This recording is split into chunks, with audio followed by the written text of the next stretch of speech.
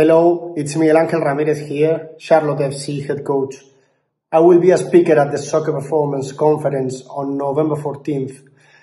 Join me to speak about the defensive organization in soccer and how to have the initiative also without the ball possession. See you there.